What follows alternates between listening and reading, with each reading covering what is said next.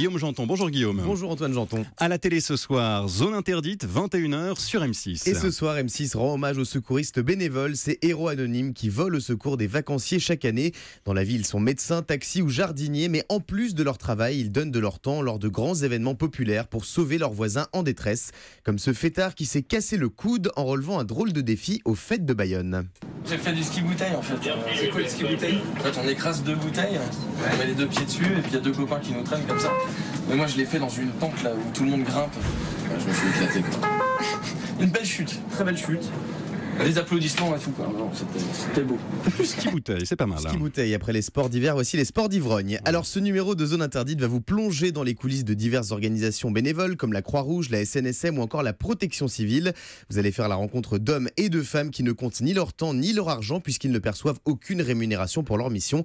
Pour eux, la richesse de leur métier se trouve ailleurs. Finalement, le salaire, c'est pas le plus important.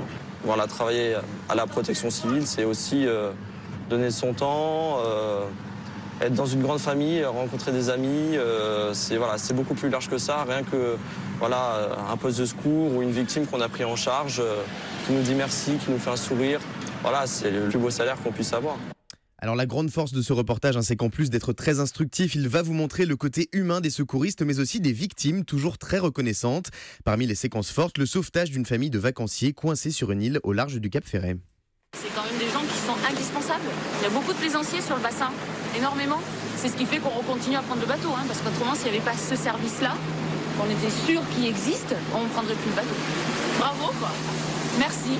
Bref, ce numéro de Zone Interdite est à ne pas manquer. Mention spéciale pour Ophélie Meunier, de plus en plus à l'aise à la présentation et dans ses interviews sur le terrain. Ce soir sur M6, vous allez ouvrir les yeux sur ces hommes et ces femmes extraordinaires à qui on doit bien plus qu'un merci. On a hâte. Merci Guillaume et à tout à l'heure.